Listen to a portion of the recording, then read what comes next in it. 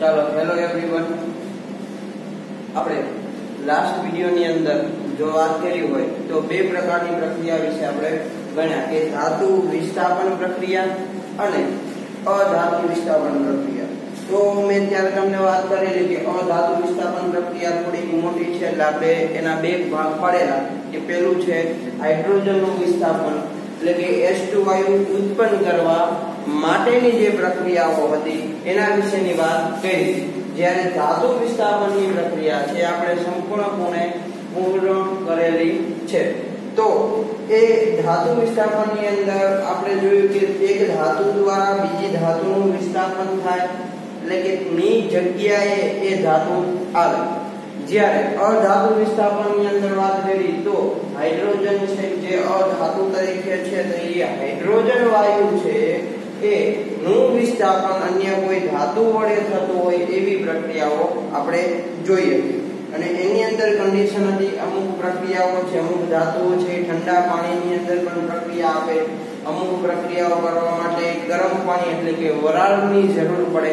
અને અમુક એવી પ્રક્રિયાઓ કે જે ધાતુ છે ઠંડા પાણી સાથે ન આપે, તો એવી કન્ડિશનની અંદર આપણે HCl એટલે હાઇડ્રોક્લોરિક એસિડ છે એ એસિડ સાથે એની પ્રક્રિયા કરી અને આપણે એનું શું કરી શકીએ છીએ? તો કે વિસ્થાપન પ્રક્રિયા કરી શકીએ છીએ. તો કાલે જેટલી જોઈ, એ બધી પ્રક્રિયા દ્વારા તમે પ્રયોગશાળાની અંદર H2 વાયુ, એટલે કે હાઇડ્રોજન વાયુ છે, એ ઉત્પન્ન કરી શકો છો. પણ એની અંદર વાત કરીએ તો Fe હતો આયર્ન એની પ્રયોગશાળાની અંદર એટલે કે H2 વાયુ છે, એ ઉત્પન્ન કરવાની ક્ષમતા અથવા એની વાત કરીએ તો વેગ જે કેવો છે, ઓછો. અને જ્યારે mg ની વાત કરીએ, તો એ mg છે, એનો H2 વાયુ ઉત્પન્ન કરવાનો વેગ વધુ છે. હવે આનું રીઝન શું? કે ભાઈ તમે, સાહેબ, તમે કીધું કે ભાઈ Fe છે, એ ઓછો H2 વાયુ એટલે ઝડપથી H2 વાયુ ઉત્પન્ન ના કરે. અને જ્યારે mg છે એ ઝડપથી H2 ઉત્પન્ન કરે, તો એનું મેઇન રીઝન છે એની ઇલેક્ટ્રોન ગુમાવવા અથવા મેળવવાની ક્ષમતા. એટલે આપણે એની સક્રિયતાનો ક્રમ કહીએ. તો જો આગળ આપણે જોયું, ત્યારે સક્રિયતાના ક્રમ માટે આપણે શું લખેલું? તો કે ભાઈ Zn છે એની સક્રિયતા સૌથી વધારે, પછી એને પછી આવે Cu, પછી એની પછી વાત કરીએ તો Ag. તો આવો ધાતુની સક્રિયતાનો ક્રમ લખ્યો છે. તો જેની સક્રિયતા સૌથી વધુ એમ વિસ્થાપન પ્રક્રિયા છે એનો વેગ કેવો? વધારે. તો આટલું આપણે નેક્સ્ટ એટલે કે ગયા સોરી આગળના વિડીયોની અંદર આપણે આવું ભણ્યા. તો હવે આજના વિડીયોની અંદર આપણે કેની વાત કરવાની? તો વાત તો કરવાની છે અધાતુ વિસ્થાપનની છે પરંતુ એની અંદર તો કે કોનું વિસ્થાપન? તો કે ઓટલું અને X2 નું વિસ્થાપન આપણે હાલ જોવાનું છે. તો સૌપ્રથમ હેલોજન સંયોજનો છે વાત કરીએ?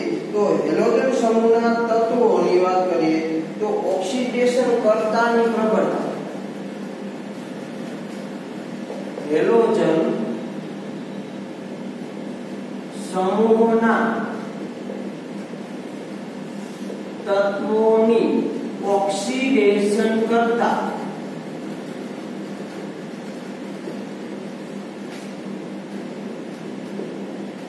ની પ્રબળતા નો ક્રમ તો જો ઓક્સિડેશન કરતાનો મતલબ શું થાય તો કે સામેવાળાનું ઓક્સિડેશન કરે પોતે શું અનુભવે તો કે પોતે રિડક્શન અનુભવે તો હેલોજન સમૂહના તત્વો લઈમાં ક્લોરીન આવી ગયું બ્રોમિન આવી ગયું આયોડિન આવી ગયું ક્લોરીન આવી ગયું. તો આ બધાનો ઓક્સિડેશન કરતાની પ્રબળતા. તો સૌથી વધારે જો પ્રબળ હોય એટલે કે ઓક્સિડેશન કરવાની ક્ષમતા સૌથી વધારે જો હોય તો એ ક્લોરીનની છે. એટલે કે પોતે સૌથી ઝડપથી ઇલેક્ટ્રોન મેળવે, કારણ કે વિદ્યુત ઋણતા કેવી સૌથી વધુ? તો જે ઝડપથી ઇલેક્ટ્રોન મેળવે, એની ઇલેક્ટ્રોન મેળવવાની વૃત્તિ સૌથી વધુ એની રિડક્શન અનુભવવાની વૃત્તિ સૌથી વધુ. તો જે સૌથી વધુ જો રિડક્શન અનુભવતો તો એ સૌથી બીજાનું ઓક્સિડેશન પણ કેવું કરે? ઝડપથી કરે. એટલે ક્લોરીન છે એની ઓક્સિડેશન કરવાની ક્ષમતા સૌથી વધારે, પછી ક્લોરીન પછી બ્રોમિન અને પછી આયોડિન એટલે એનો મતલબ એવો થાય કે આપણે પ્રક્રિયા દ્વારા આપણે સમજવું. કે સૌથી વધુ ઓક્સિડેશન કરતાની પ્રબળતા ફ્લોરિન તો ફ્લોરિન છે આ ત્રણેયનું શું કરી શકે? તો કે ઓક્સિડેશન કરી શકે. ભલે આ ત્રણેયની ગુણધર્મ ઇલેક્ટ્રોન મેળવવાનો છે, પરંતુ ફ્લોરિન સાથેના સંયોજનમાં એ બધા ઇલેક્ટ્રોન શું કરશે? ગુમાવશે. એટલે ક્લોરીન છે આ ત્રણેયનું શું કરી શકે? ઓક્સિડેશન કરી શકે. એવી રીતે ક્લોરીન છે આ બંનેનું ઓક્સિડેશન કરી શકે અને એવી રીતે બ્રોમિન છે આ આયોડિનનું ઓક્સિડેશન કરી શકે. જે આપણે સ્ટેપ વાઇઝ છે સમજવાનું છે. તો આપણે સૌપ્રથમ ક્લોરીન છે એની પાણી સાથેની પ્રક્રિયા છે એની વાત કરીએ. તો ક્લોરીનની પાણી સાથેની પ્રક્રિયા તો 2 મોલ F2Y લઈએ અને એની પ્રક્રિયા 2 મોલ H2O સાથે કરવામાં આવે.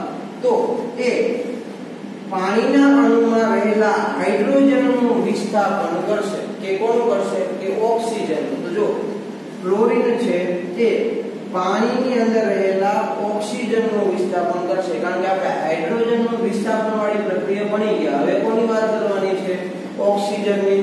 તો F2 છે એ કોનું વિસ્થાપન કરશે?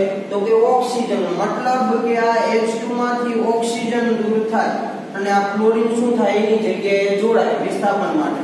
તો જો ચાર હાઇડ્રોજન છે અને ક્લોરીન એક જ હાઇડ્રોજન સાથે જોડાય છે. તો આનો મતલબ એવો થયો ને કે તમને 4 મોલ HF મળે અને તમારી પાસે 4 ક્લોરીન પણ છે. તો 4 મોલ HF મળ્યા અને વધતા છૂટું પડે તો તમારી પાસે બે ઓક્સિજન હતા એટલે O2 વાયુ છૂટો પડે. તો જો અહીંયા ઓક્સિજનનું વિસ્થાપન થયું હાઇડ્રોજનની જોડે કોણ જોડાઈ ગયું તો કે ઓક્સિજન હતો એની જગ્યાએ આવી ગયો, ક્લોરીન.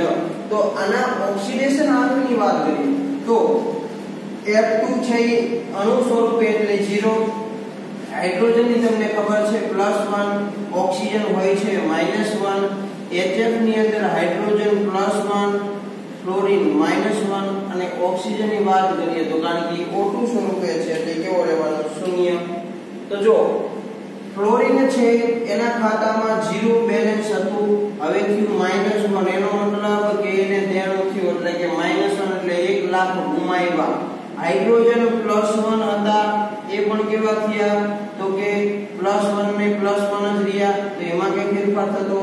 નથી. ઓક્સિજન -1 હતા. એ કેવા થયા તો કે 0 થયા, એટલે કે 1 લાખનું દેણું હતું, હવે ભરાઈ ગયું. તો એનો મતલબ એવો થાય ને કે ક્લોરીનમાં 1 નો શું થયો? તો કે ઘટાડો. 0 હતા પણ -1 થયા. ઘટાડો. ઘટાડો થાય તો શું કહેવાય? રિડક્શન ચાલો. 1 નો શું થયો? વધારો. તો એક નો વધારો. અને વધારો થાય તો એને કેવી પ્રક્રિયા કહેવાય? ઓક્સિડેશનની પ્રક્રિયા કહેવાય. તો આ ઉપરની પ્રક્રિયાની અંદર વાત કરીએ તો પાણી સાથે એક પ્રક્રિયા કરી કોનું વિસ્થાપન કરે છે? તો કે પાણી સાથે.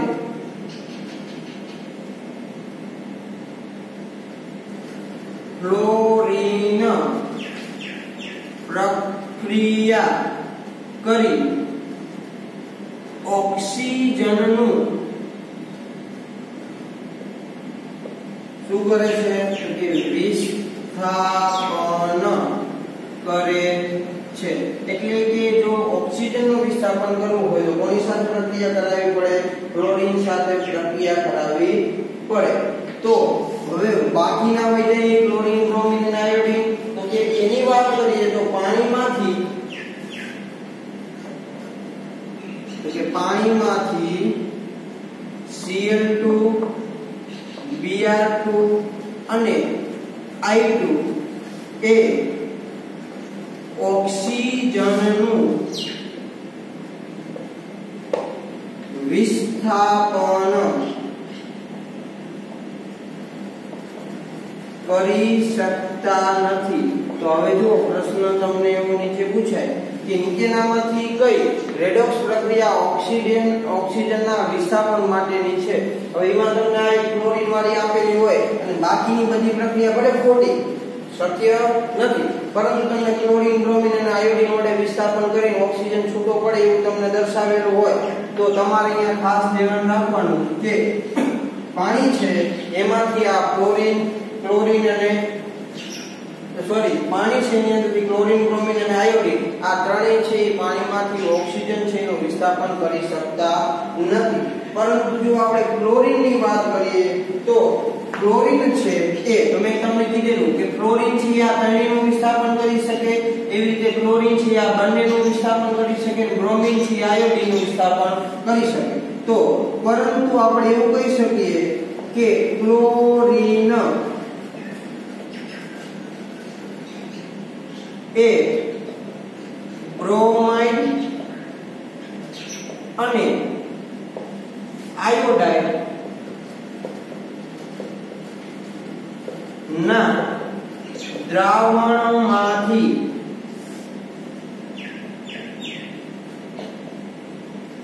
Br2 અને I2 નું વિસ્થાપન કરી શકે છે. જો ક્લોરીન છે એ એ બંને કરતા વધારે શું છે? તો કે પ્રબળ ઓક્સિડેશન કરતા છે. આપણે વાત કરી, પ્રબળ ઓક્સિડેશન કરતાનો પ્રમાણ. એટલે જ્યારે બ્રોમિન યુક્ત દ્રાવણ હોય કે ક્લોરીન યુક્ત સોરી આયોડિન યુક્ત દ્રાવણ હોય, તો એની અંદર ક્લોરીન છે એની ઓક્સિડેશન કરતા, એટલે એની ઓક્સિડેશન કરવાની ક્ષમતા વધુ છે. એટલે ફરજિયાત બ્રોમિન અને આયોડિન છે એને શું અનુભવવું પડે? તો કે ઓક્સિડેશન અનુભવવું પડે. તો એની પ્રક્રિયા આપણે જોઈએ. તો પહેલી પ્રક્રિયા જોઈએ તો કે Cl2 ચાલો આની પ્રક્રિયા બે મોલ KBr સાથે કરી, એટલે કે બ્રોમિન યુક્ત દ્રાવણ થયું. અને પ્રક્રિયા થઈ અને શું થાય? તો કે આપણને બે મોલ કેલ્શિયમ મળે એટલે બ્રોમિનનું વિસ્થાપન થાય અને બે બ્રોમિન છૂટા પડે Br બનાવે. તો જો ફરજિયાત આ સંયોજનની અંદર વાત કરીએ, તો ક્લોરીન છે ને એ શું અનુભવવાનું? રિડક્શન. તો જો ક્લોરીન 0 હોય KH હોય +1 બ્રોમિન -1 અહીંયા જોઈએ તો કે K +1 ક્લોરીન -1 અને બ્રોમિનથી કેવો થાય? 0 કારણ કે Br2 સ્વરૂપે છે. તો જો તમે આખી પ્રક્રિયામાં નોટ ડાઉન કરો. પોટેશિયમ છે કે એના ઓક્સિડેશન આંકમાં કોઈ જ ફેર પડ્યો નથી. તો જો ફેર કોનામાં પડ્યો? તો કે ક્લોરીન 0 હતા. એમાંથી બન્યા શું? તો કે -1 અહીંયા બ્રોમિન -1 હતા શું બન્યા 0 તો એવું થયું ને 0 માંથી -1 એટલે 1 લાખનું દેવું એટલે 1 નો ઘટાડો. અને ઘટાડો થાય એને કઈ પ્રક્રિયા કહેવાય? તો કે રિડક્શનની પ્રક્રિયા કહેવાય. ચાલો -1 1 લાખનું દેણું તો હવે 0 છે. એનો મતલબ 1 લાખ નો શું થયું? એના ઇન્કમમાં તો કે વધારો. અને વધારો એટલે એને શું કહેવામાં આવે? ઓક્સિડેશન. તો જો આ પ્રક્રિયાની અંદર તમે નોટ ડાઉન કરો કે તમને જે ક્લોરીન આપ્યો છે ક્લોરીનનું શું થાય? રિડક્શન તે પોતે રિડક્શન અનુભવતું હોય તો બીજાનું શું કરે? ઓક્સિડેશન. એટલે ક્લોરીન છે એ પ્રખર રિડક્શન કરતા ઓક્સિડેશન કરતા છે. પરિણામે બ્રોમિનનું શું કરી શકે? વિસ્થાપન કરી શકે છે. એટલે ગુજરાતીમાં જો ઉદાહરણ આપું, તો તમારી બેન્ચમાં કોઈ વ્યક્તિ બેઠો છે, એની જગ્યાએ બીજા વ્યક્તિને બેસવા આવવું છે, તો ક્યારે આવી શકે? તો એ તમારી બેન્ચમાં જે વ્યક્તિ બેઠો છે, એની કરતા થોડોક માથા ભારે હોય, તો જ એની જગ્યા ખાલી કરાવી શકે. એટલે એવી જ રીતે આમાં ક્લોરીન છે એ રિડક્શન અનુભવવાની પ્રબળતા વધુ છે એટલે પરિણામે ઓલાનું શું થઈ જાય? ઓક્સિડેશન અને એનું વિસ્થાપન થાય. તો આવી જ પ્રક્રિયા તમે બ્રોમિન માટે લખી એવી જ રીતે આયોડિન માટે પણ લખી શકો. તો જો Cl2 ગેસિયસ ફોર્મમાં વત્તા 2KC આપણે આયોડિનનું વિસ્થાપન કરવું છે એટલે આયન દ્રાવણ લઈએ. તો શું થવાનું? તો કે ભાઈ I વિસ્થાપન થાય, અહીંયા ક્લોરીન જોડાય એટલે કેલ્શિયમ છૂટા પડે અને I2 ગેસિયસ ફોર્મની અંદર શું થાય? છૂટા પડે. તો હવે આની અંદર વાત કરીએ, તો ક્લોરીનની વાત કરો તો ક્લોરીનનું તમને ખબર છે, તટસ્થ અણુ સ્વરૂપે, તો એનો ઓક્સિડેશન આંક કેવો 0 જ્યારે K ની વાત કરીએ તો K 1 રહે I છે, એ -1 રહે વત્તા અહીંયા K ની વાત કરીએ તો K 1 હશે, ક્લોરીન -1 હશે અને I2 એ અણુ સ્વરૂપે હોવાના લીધે કેવું થવાનું? શૂન્ય થવાનું છે. તો આની અંદર વાત કરીએ તો ક્લોરીન છે એ 0 બેંક બેલેન્સ ધરાવે 1 લાખનું દેણું થયું. જ્યારે આયોડિન -1 છે એટલે એ 0 બને છે. એટલે કે 1 લાખનું દેણું હતું, હવે 0 થઈ એટલે ચૂકવાઈ ગયું. તો આની વાત કરીએ તો તમે જોઈ શકો કે ક્લોરીન છે એ 0 માંથી -1 બન્યા. તો એકનો શું થયો? ઘટાડો. અને એકનો ઘટાડો થાય તેને કેવી પ્રક્રિયા કહેવાય? તો કે રિડક્શનની પ્રક્રિયા કહેવાય. જ્યારે -1 માંથી 0 થયા, એટલે એકનો વધારો થયો કહેવાય. અને આ એકનો વધારો એટલે એને કેવી પ્રક્રિયા કહેવાય? ઓક્સિડેશનની પ્રક્રિયા. તો અહીંયા પણ તમે જોઈ શકો કે ક્લોરીન છે રિડક્શન અનુભવે ને કહેવાય ઓક્સિડેશન કરતા. એટલે એની ઓક્સિડેશન કરવાની પ્રબળતા વધુ છે, પરિણામે આયોડિન છે એનું શું થાય છે? તો કે ઓક્સિડેશન અનુભવી અને વિસ્થાપન થાય છે. એટલે જે એની કરતા વધુ માથા ભારે, એ એના પછીના જે ઓછા માથા ભારે છે, એનું શું કરી શકે? ઓક્સિડેશન કરી શકે છે. આ ખાસ આપણે ધ્યાનમાં લેવાનું છે. એટલે ક્યારે એવું નહીં બને કે ક્લોરીનનું વિસ્થાપન આયોડિન અને બ્રોમિન કરી શકશે. કેમ? કારણ કે એની કરતા ક્લોરીન છે, એની ઓક્સિડેશન કરતાની પ્રબળતા કેવી છે? વધુ. એટલા માટે લા યાદ રાખજો. ચાલો. તો, હવે વાત રહી આયોડિન અને બ્રોમિનની વાત. તો જો જે CCl4 છે કાર્બન ટેટ્રાક્લોરાઇડ આપણે લખાવેલું. CCl4 માં, જો Br2 અને I2 એ શું હોય છે દ્રાવ્ય હોય છે. અને તેના દ્રાવણ કેવા હોય તો કે રંગીન હોવાથી, સરળતાથી ઓળખી શકાય છે.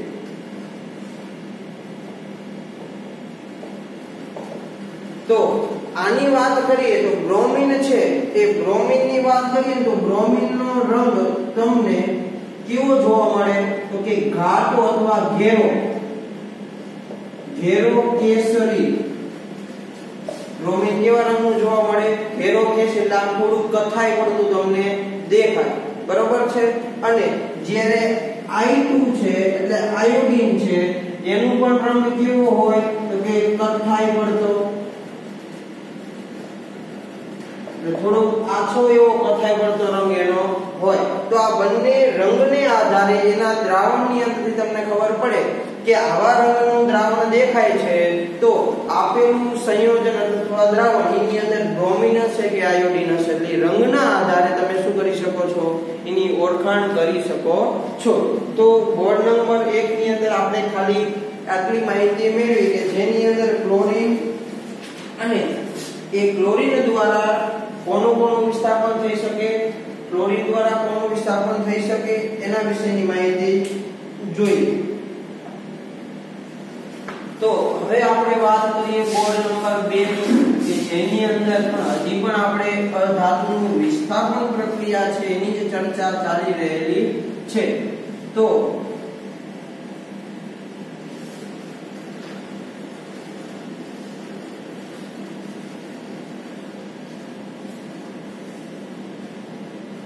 જો તમને સમજાવવા માટે મેં આ પ્રક્રિયા હમણાં રાખી છે કે જરૂર છે એટલા માટે.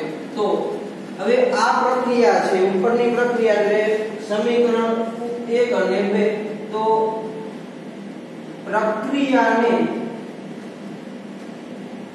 આયન સ્વરૂપે નીચે મુજબ દર્શાવી શકાય. તો તમારે આ બંને પ્રક્રિયા છે, એને આયન સ્વરૂપે દર્શાવવી છે. તો તમારે એને દર્શાવવી હોય તો આવા પ્રકારે દર્શાવી શકાય.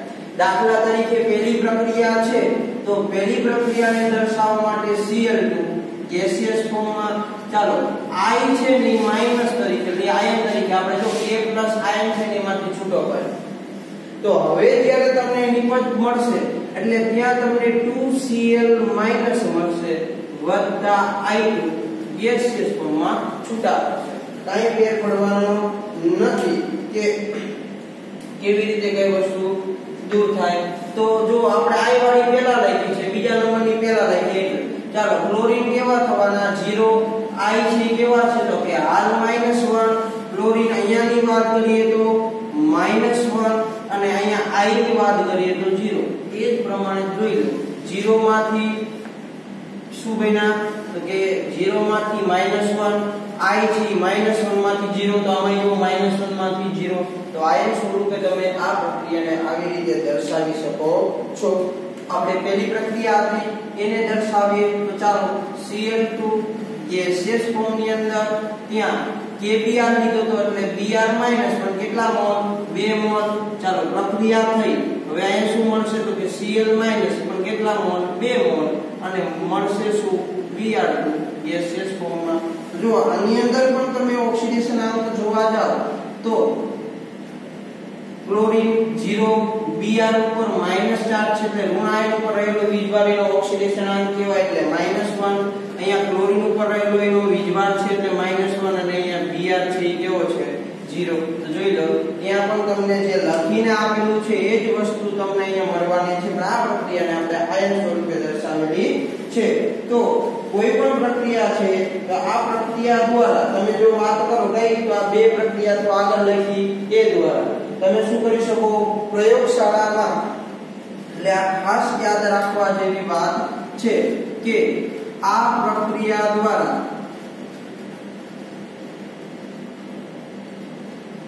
પ્રયોગ શાળામાં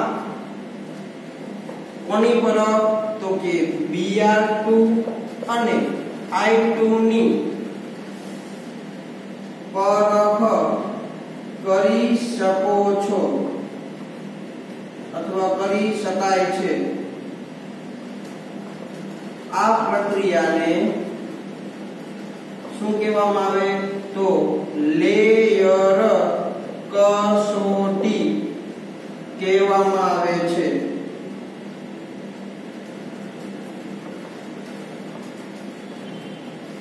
જો લેયર નો મતલબ થાય સ્તર, એને કેવા પ્રકારની કસોટી કહેવામાં આવે? લેયર કસોટી કહેવામાં આવે. છે એટલે ખાસ ધ્યાન રાખવાનું કે જે આપણને પૂછવામાં આવ્યું છે, ભાઈ એમસીક્યુ તરીકે પૂછે કે કઈ કસોટી દ્વારા પ્રયોગશાળાની અંદર Br2 અને I2 ની પરખ કરી શકાય છે. તો ખાસ યાદ રાખવાનું, કઈ કસોટી દ્વારા લેયર કસોટી દ્વારા છે, તમે એનું શું કરી શકો છો? પરખ કરી શકો છો. તો હવે આપણે આગળ વધીએ. તો આપણે શું કર્યું? ક્લોરીન દ્વારા બ્રોમિન અને આયોડિનનું શું કર્યું? વિસ્થાપન તો એવી જ રીતે. એટલે આવી જ રીતે. હવે કોનો વારો આવ્યો? કે Br2 વડે. આયોડાઇડ યુક્ત દ્રાવણમાંથી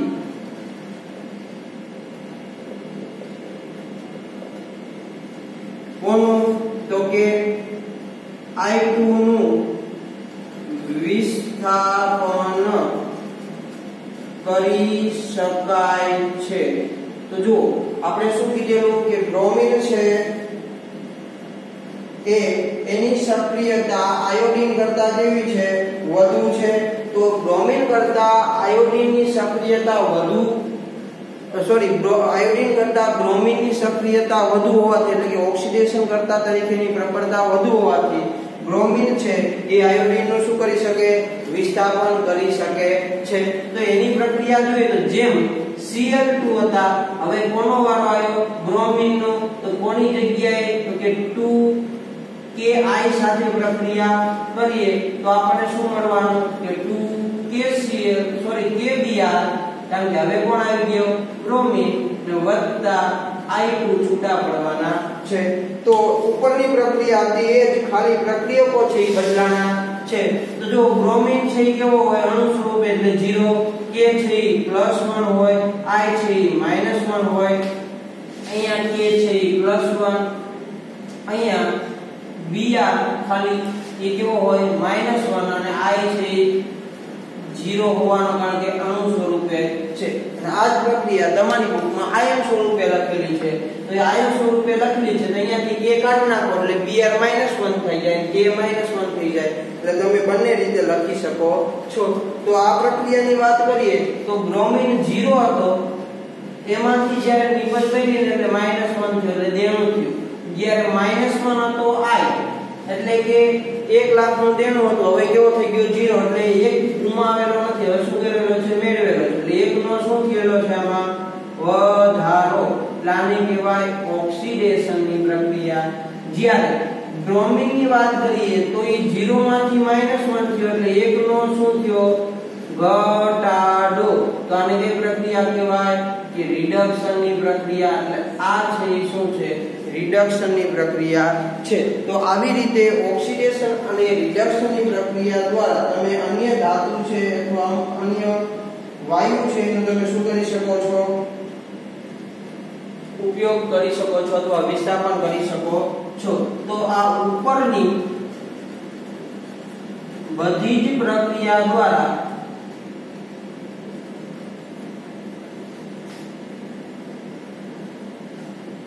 હેલોજનનું વિસ્થાપન ઔદ્યોગિક રીતે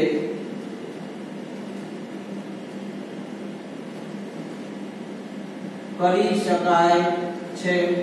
એટલે ઉદ્યોગોની અંદર આ પ્રક્રિયાઓ છે, એનો ઉપયોગ કરી અને હેલોજન સમૂહ છે એના જે I2 અથવા Br2 જે સંયોજનો છે, એ મેળવવા માટે આ પ્રક્રિયાનો ઉપયોગ કરવામાં આવે છે.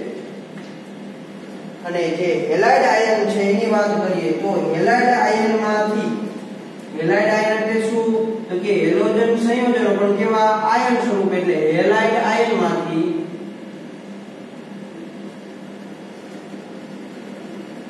આયનમાંથી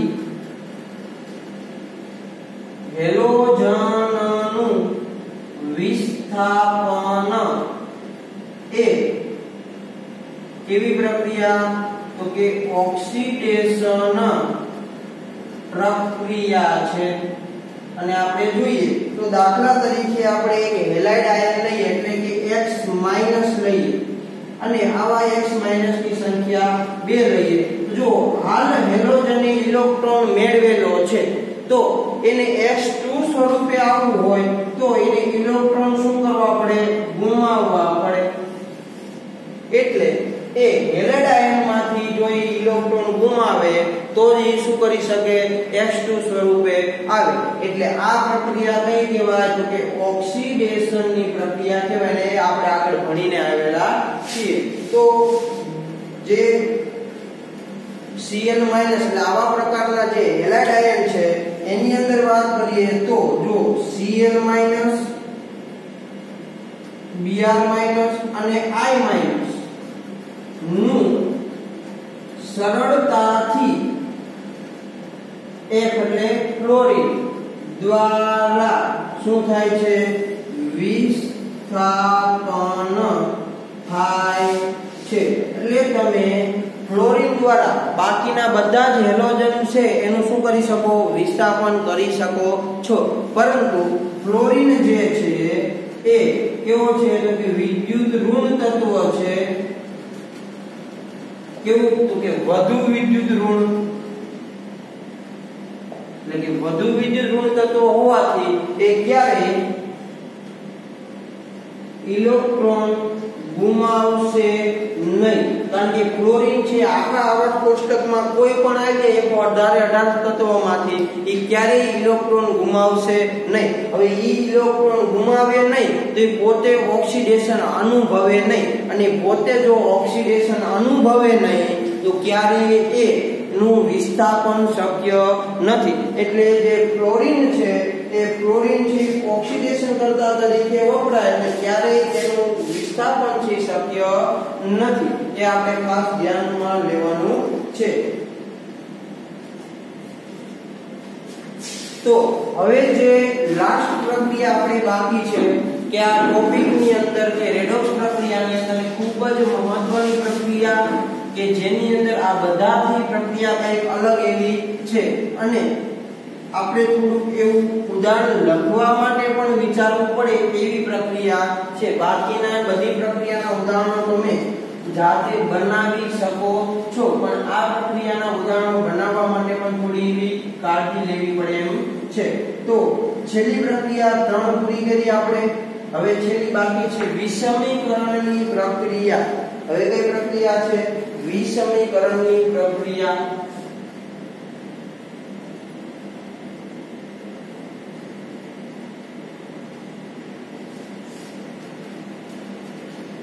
તો જો વિષમીકરણની પ્રક્રિયા એક એક પ્રકારની રેડોક્સ પ્રક્રિયા જ છે, પરંતુ વિષમકરણની પ્રક્રિયાની અંદર એક ઓક્સિડેશન અવસ્થામાં રહેલું જે તત્વ છે, એની વાત કરીએ તો એની ઓક્સિડેશન અવસ્થા એક કરતા વધારે હોય. એટલે આપણે સ્ટેપ વાઇઝ જોતા જઈએ તો આ પ્રક્રિયા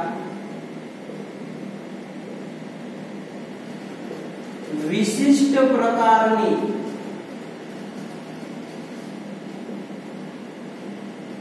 પ્રકારની શું છે? તો કે રેડોક્સ પ્રક્રિયા છે. તો આ પ્રક્રિયાની અંદર એવું શું છે? તો કે જો એની વાત કરીએ તો વિસમીકરણની પ્રક્રિયામાં જે સંયોજન છે, એટલે કે પ્રક્રિયામાં કોઈ એક ઓક્સિડેશન અવસ્થામાં રહેલું તત્વ, એટલે પ્રક્રિયામાં કોઈ એક ઓક્સિડેશન અવસ્થામાં રહેલું તત્વ પ્રક્રિયા દરમિયાન ઓક્સિડેશન તથા રિડક્શન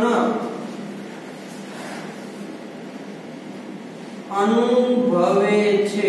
એટલે એનો મતલબ શું થયો કે એક સાથે પ્રક્રિયા દરમિયાન એક સાથે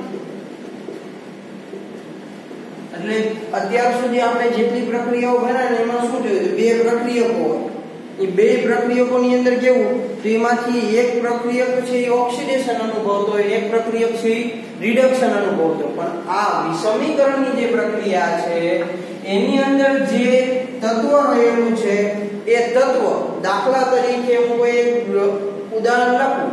એની અંદર ક્લોરીન છે. તો એ ક્લોરીન છે એની ઓક્સિડેશન અવસ્થા હાલ જે પણ હોય પરંતુ જ્યારે એમાંથી નિપજ બને, તો એ ક્લોરીન છે, એ ઓક્સિડેશન અનુભવેલું હોય અને રિડક્શન પણ અનુભવેલું હોય. તો આવી પ્રકારની પ્રક્રિયા છે એ એને શું કહેવામાં આવે? તો કે વિષમીકરણની પ્રક્રિયા કહેવામાં આવે છે. તો પ્રક્રિયકનું એક તત્વ, પ્રક્રિયકનું એક તત્વ. જો હું તત્વની વાત કરું છું આખે આખા સંયોજનની નહીં તો પ્રક્રિયકનું એક તત્વ ઓછામાં ઓછી ઓછી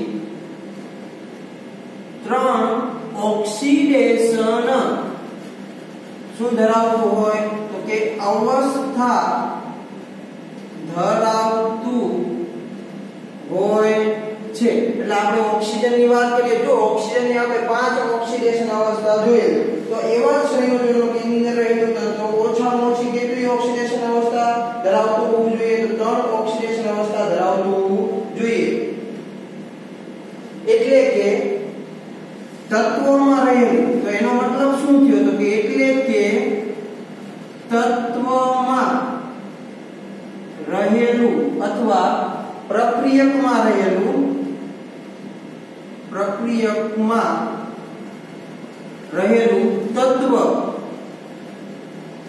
મધ્યવર્તી ઓક્સિડેશન અવસ્થા ધરાવતું હોવું જોઈએ તો આનો મતલબ શું થયો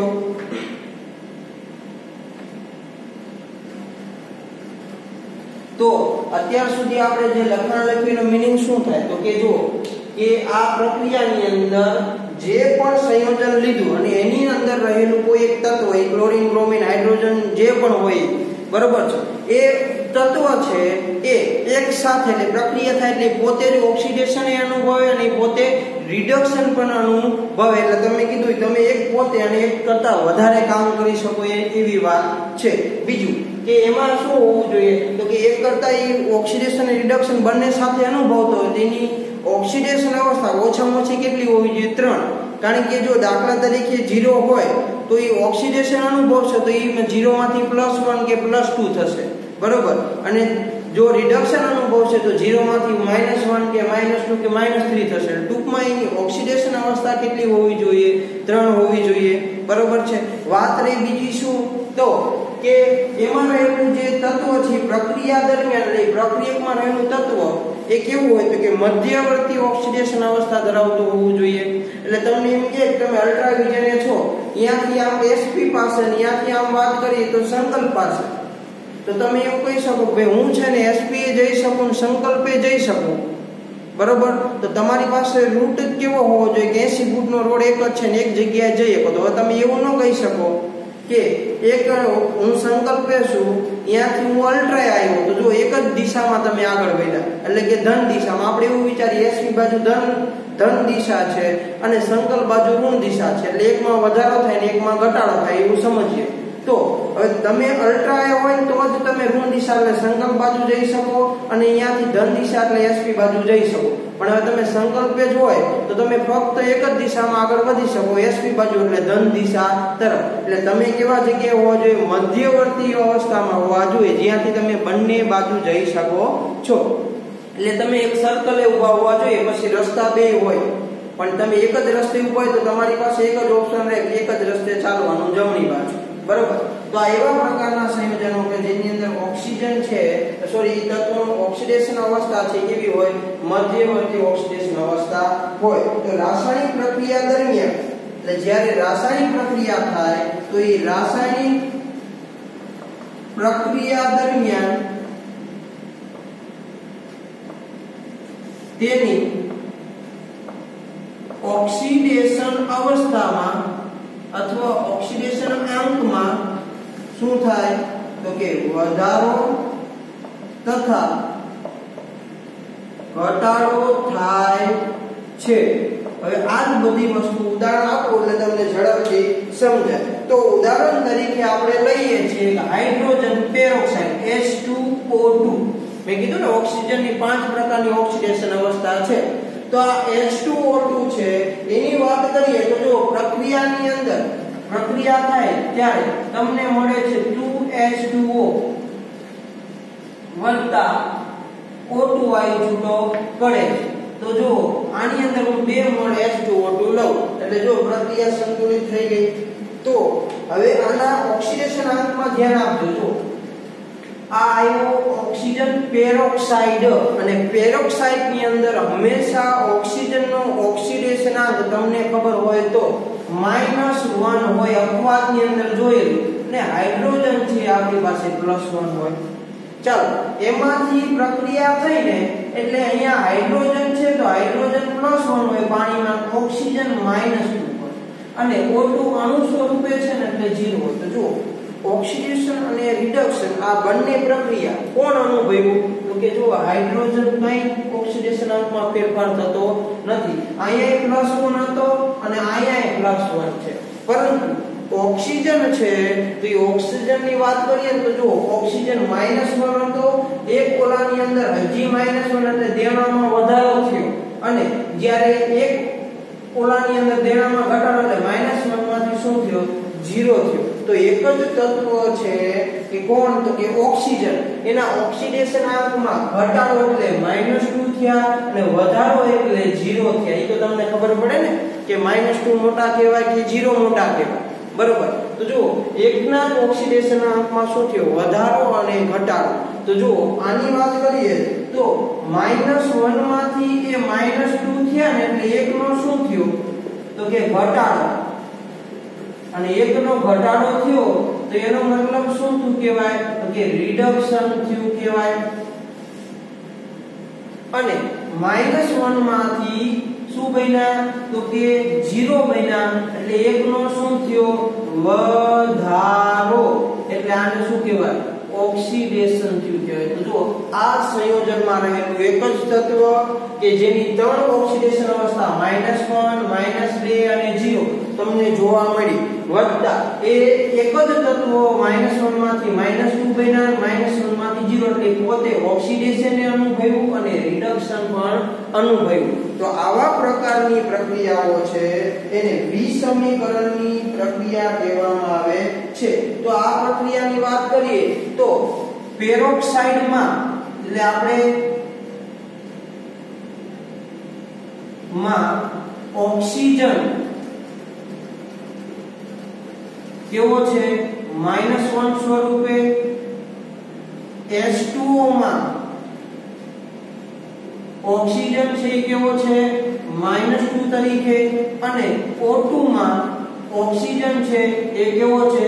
ઝીરો સ્વરૂપે રહેલો છે. તો જો તમને એક જ તત્વ એટલે કે ઓક્સિજન, એની તમને ત્રણ ત્રણ ઓક્સિડેશન અવસ્થા જોવા મળી. ને એમાં જ આ એક જ રહેલો ઓક્સિજન, કારણ કે હાઇડ્રોજનના ઓક્સિડેશન અંકમાં કાંઈ જ ફેરફાર થતો નથી. તો એક જ ઓક્સિજનની ઓક્સિડેશન અને રિડક્શન બંને પ્રકારની પ્રક્રિયા અનુભવે છે. અને પ્રક્રિયા દરમિયાન એના ઓક્સિડેશન અંકમાં છે એની કરતા ઘટાડો થયેલો છે અને છે એની કરતા વધારો પણ થયેલો છે. તો હવે તમને આ લખાણ લખ્યું છે, એના વિશેની માહિતી ખબર પડી શું કહેવા માંગે છે.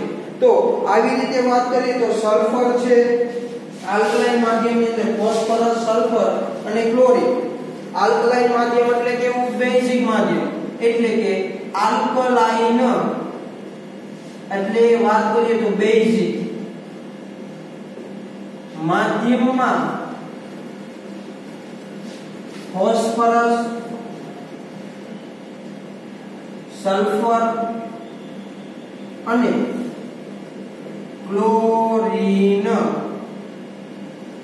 આ પ્રકારની પ્રક્રિયા આપે છે. તો એની અંદર આપણે સૌપ્રથમ ફોસ્ફરસ માટેની પ્રક્રિયા જોઈએ. તો ફોસ્ફરસ ને P વડે દર્શાવે એટલે P4 ચાલો માધ્યમ કેવું કીધું છે બેઝિક એટલે આપણે અહીંયા બેઝિક માધ્યમ કરવા OH આયન લઈએ છીએ અને 3 મોલ H2O નો ઉપયોગ કરીએ છીએ. તો નિપજ તરીકે તમને શું મળે? તો એક PH3 મળે, વત્તા અહીંયા H2 PO2 માઇનસ 1 મળે છે. પણ કેટલા મોલ તો કે ત્રણ મોલ મળે છે અને આવી પ્રક્રિયા આપણે સંતુલિત કરતા શીખવાની છે. એ આપણે આગળ હવે એની તરફ પહોંચી જ રહ્યા છીએ. તો જો આની વાત કરીએ તો પી છે ની જીરો ઓક્સિડેશન અવસ્થા. આ તો OH ની અંદર વાત કરીએ તો ઓક્સિજન -1 હાઇડ્રોજન +1 આની અંદર હાઇડ્રોજન +1 ઓક્સિજન -1 સોરી -2 ચાલો pH3 ની અંદર વાત કરીએ તો આમાં રહેલા P નો ઓક્સિડેશન અવસ્થા +3 કારણ કે હાઇડ્રોજન કેવા આવવાના? -1 આવવાના. તો હાઇડ્રોજનની ઓક્સિડેશન અવસ્થા તમે જુઓ, તો હાઇડ્રોજન ધાતુ સાથે છે એટલે -1 હવે PS3 ની વાત કરીએ, તો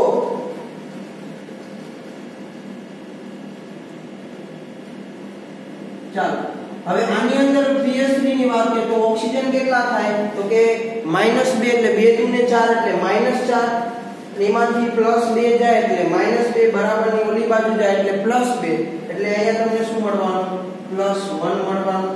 તો જો આ પ્રક્રિયાની અંદર જો P માંથી 0 હતા. હાઇડ્રોજન +1 તરીકે, P -3 તરીકે. તો જો 0 માંથી -3 થયા 0 માંથી +1 થયા. તો એક જ સંયોજન કે જેની પોતે ઓક્સિડેશન અનુભવે છે અને રિડક્શન પણ અનુભવે છે. અને આની અંદર બાકીના રહેલા જે તત્વો છે, બધાના ઓક્સિડેશન આયન જો વાત કરીએ, તો અહીંયા ઓક્સિજનનો -2 જ હોય અને હાઇડ્રોજનનો +1 જ હોય. તો બધાની અંદર એકૈના ઓક્સિડેશન આંકમાં કાંઈ ફેરફાર થતો નથી. પરંતુ એની અંદર રહેલા જે ફોસ્ફરસ છે. એનો ઓક્સિડેશન આંક 0 માંથી -3 થયો અને 0 માંથી +1 થયો. એટલે વધારો પણ થયો, ઘટાડો પણ થયો. એટલે પરિણામે એનું ઓક્સિડેશન પણ થયું અને રિડક્શન પણ થયું. એટલે આની અંદર જો તમારે દર્શાવવી હોય તો તમે આ રીતે દર્શાવી શકો કે ભાઈ P છે એમાંથી -3 થયા અને P માંથી તે શું બન્યા? +1 અને 3 નો શું થયો? ઘટાડો. લાને કઈ પ્રક્રિયા કહેવાય. તો કે ઘટાડો એટલે રિડક્શનની પ્રક્રિયા અને એક નો વધારો. એટલે આને કઈ કહેવાય. ઓક્સિડેશનની પ્રક્રિયા. તો આપણે જે બી સલ્ફર સાથેની એની પ્રક્રિયા જોઈએ, એ બોર્ડ નંબર 3 ની અંદર જોઈએ. એટલે એટલી વાર બે મિનિટની અંદર આપણે આ બે પ્રક્રિયાઓ પૂર્ણ કરીએ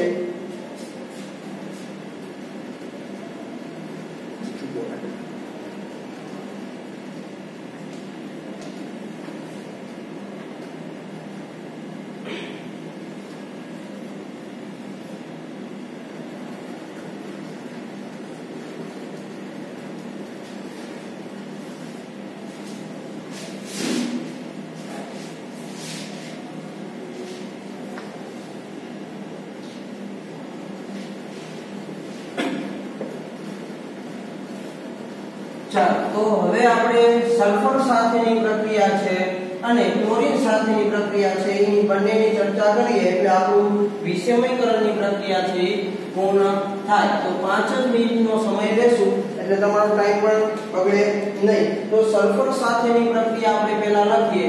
તો S8 વત્તા અલ્કલાઇન માધ્યમ છે એટલે અહીંયા આપણે 12 OH લેશું. ત્યારે તમને 4S માઇનસ ટુ વત્તા S two O three minus two અને વત્તા સિક્સ એસ ટુ ઓ મળે છે. તો આની અંદર વાત કરીએ અને આપણે જોડે જોડે બીજા નંબરની પ્રક્રિયા છે. Cl2 સાથેની એ પણ લખી દઈએ. સીએલ ટુ ઓએચ માઇનસ પ્રક્રિયા થઈ અને ClO માઇનસ વત્તા Cl વત્તા H2O આવા પ્રકારની પ્રક્રિયા છે. તો આની અંદર આપણે બે મોલ OH લેશું તો જુઓ આની અંદર વાત કરીએ તો SA અણુ સ્વરૂપે છે એટલે નિયમ નંબર 1 પ્રમાણે 0 અહીંયા આખા વાળાની વાત કરીએ એ પેલા ઓક્સિજન નો -2 હાઇડ્રોજન નો પ્લસ બરોબર ચાલો S ઉપર -2 છે એટલે -2 અહીંયા S ની વાત કરીએ તો જો ઓક્સિજન નો કેટલો હોય -2 એટલે 3 દૂન 6 એટલે -6 બરાબરની પેલી બાજુ જાય એટલે +6 +6 માંથી 2 જાય એટલે પ્લસ +4 અને 4 ભાગ્યા 2 એટલે અહીંયા તમને મળશે +2 અને બાકીનો હાઇડ્રોજન નો +1 અને ઓક્સિજન નો -2 તો જો અહીંયા રહેલો સલ્ફર, એ પોતે એક જ જો બીજા અહીંયા ઓક્સિજન -2 અહીંયા -2 અહીંયા હાઇડ્રોજન +1 અહીંયા પણ હાઇડ્રોજન +1 તો S છે એ 0 માંથી શું બન્યા? તો એક વખત -2 બન્યા અને S છે એ 0 માંથી એક વખત +2 બન્યા. એનો મતલબ બે તો કે વધારો પણ થયો અને બે નો શું થયો? તો કે ઘટાડો પણ થયો. એટલે આ પ્રક્રિયા ઘટાડો એટલે રિડક્શન અને વધારો એટલે ઓક્સિડેશનની પ્રક્રિયા થઈ. એવી રીતે Cl2 ની વાત કરીએ તો જો Cl2 અણુ સ્વરૂપે એટલે 0 ઓક્સિજન છે એ શું હોય? -2 હાઇડ્રોજન +1 એવી રીતે CNO- ની વાત કરીએ તો ઓક્સિજન -2 બરાબરની ઓલી બાજુ જાય એટલે +2 એટલે અહીં ક્લોરીન તમને પ્લસ +1 મળે. અહીંયા ક્લોરીન ઉપર -1 બીજ ભાગ છે એટલે -1 ઓક્સિડેશન આંક હાઇડ્રોજન પ્લસ +1 ઓક્સિજન -2 આ તમને ઓક્સિડેશન આંક મોડે હશે તો ક્યાંય તકલીફ પડવાની નથી. તો જો આની અંદર ક્લોરીન એક જ અહીંયા રહેલા ઓક્સિજન અને હાઇડ્રોજન, એની તો જે ઓક્સિડેશન અવસ્થા છે નિપજમાં પણ એવી પ્રકારની છે. તો Cl ના ઓક્સિડેશન આંકની વાત કરીએ એક વખત +1 થયો અને એક વખત -1 એટલે એનો ઓક્સિડેશન આંક 0 તો એમાં ઘટાડો પણ થયો અને વધારો પણ થયો. તો આની અંદર વાત કરીએ તો 0 માંથી +1 એટલે 1 નો શું થયો? તો કે વધારો. અને અહીંયા 1 નો શું થયો શું થયો? તો કે ઘટાડો. ઘટાડો એટલે રિડક્શનની પ્રક્રિયા અને વધારો એટલે ઓક્સિડેશનની પ્રક્રિયા. તો આ એક જ જો સંયોજનની અંદર રહેલું એક જ તત્વ, આમાં ક્લોરીન આમાં રહેલું સલ્ફર એ બંને ઓક્સિડેશન અને રિડક્શન બંને એકસાથે અનુભવે, એના ઓક્સિડેશન આંકમાં વધારો પણ થાય અને ઘટાડો. વધતા બીજું શું? તો કે પ્રક્રિયકમાં રહેલું તત્વ મધ્યવર્તી હોય, એટલે જો 0 છે ની મધ્યવર્તી છે. ધન બન્યું એટલે પ્લસ વન અને માઇનસ વનથી બંનેની વચ્ચે આવે મધ્યવર્તી એટલે વચ્ચે બેઠો હોય બેન્ચની અંદર ત્રણ જણા હોય, તો વચ્ચે વાળો મધ્યવર્તી કહેવાય એટલે જીરો મધ્યવર્તી. એની બાજુ પ્લસ ચાર્જ છે અને માઇનસ ચાર્જ પણ છે, તો આ રીતે મધ્યવર્તી ઓક્સિડેશન અવસ્થા ધરાવતું હોય. તો વિષમીકરણ માટે તમારે શું યાદ રાખવાનું? તો કે વિષમીકરણની પ્રક્રિયાની અંદર ફરજિયાત જે પણ પ્રક્રિયકની અંદર તત્વ છે એને ત્રણ ઓક્સિડેશન અવસ્થા ધરાવતો હોવું જોઈએ.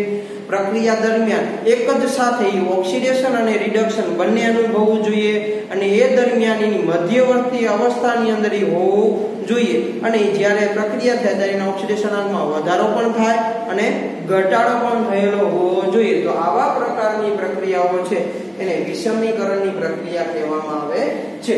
તો વાત કરીએ ફ્લોરિનની તો ફ્લોરિન છે એ સૌથી વધારે વિદ્યુત તત્વ હોવાથી ફ્લોરિન છે, વધારે કેવું છે વિદ્યુતમય તત્વો, તો ક્યારે પણ એવો સમય નહીં આવે કે એ પોતે ક્યારે ધન ઓક્સિડેશન અવસ્થા ધરાવતું હોય. કારણ કે એ ગમે એની પાસેથી ઇલેક્ટ્રોન મેળવે, તો એની ક્યારે ધન ઓક્સિડેશન અવસ્થા મળે નહીં.